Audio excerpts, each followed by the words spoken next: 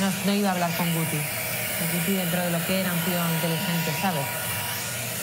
Yo ahorita estoy inmune. Dejen que pase una semana y van a ver.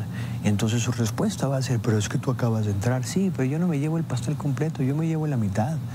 Y sí, ellos llevan más tiempo, sí, pero estamos aquí para jugar.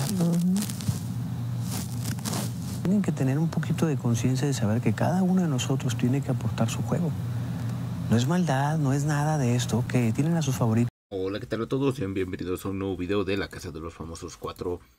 Aquí tenemos ya un pedacito de lo que está en el sillón cuarto tierra con Aleska, hablando de la situación de Paulo. Ya Aleska le está contando todo, pero pues las cámaras lo censuran y mejor nos muestran a Paulo y Maripili dando una explicación a la gente. Entonces también tienen que tener un poquito de conciencia de saber que cada uno de nosotros tiene que aportar su juego.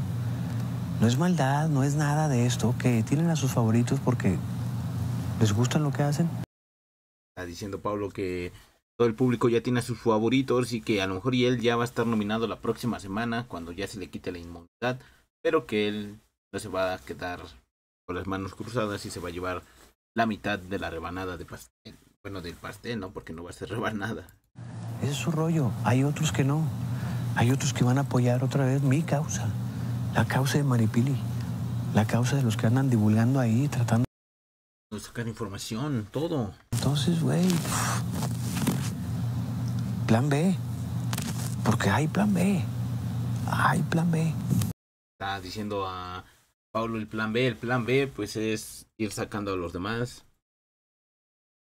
Plan B era que se pase al cuarto, creo, de Billy.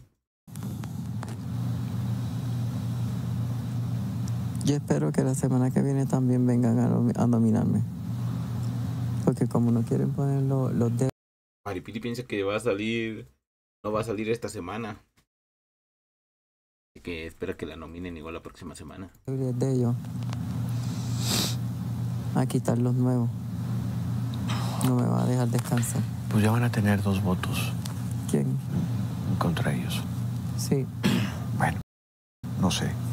Dos votos contra ellos, dicen. No sé de qué hablan, no sé de qué hablan, pero bueno. Como decimos en México. Agua los camotes. Ya solo están esperando el posicionamiento. La experiencia, también te la enseño yo, padre. Y pues bueno, ahí vemos cómo se cruza Aleska, la divasa y Ariadna. Creo que van a la cocina o al cuarto agua. Y, y el me parece un policía de aquí a allá, de allá para acá, se mete al closet, sale del closet. Él no sabe ya qué más buscar en el closet. Creo que debe de tener ya hasta brillo el closet de él. Mira, el Rome parece policía.